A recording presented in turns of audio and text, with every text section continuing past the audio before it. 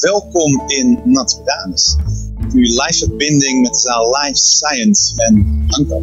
Welkom, dat je er bent. Is een heel bijzonder onderwerp vandaag. De oester van Iersel. Gevonden veld, anoniem aan ons geschonken. Daar zijn we zeer dankbaar voor. En wat maakt het nou zo bijzonder voor Het is in Nederland gevonden. We zijn eh, niet gewend om in Nederland parels te vinden. En dan is het zo dat er maar één pareltje in één oester gevonden wordt.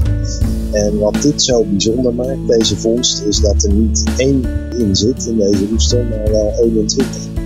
Dat geeft aan dat het echt zeldzaam is. Dit zijn die parels die we gevonden hebben.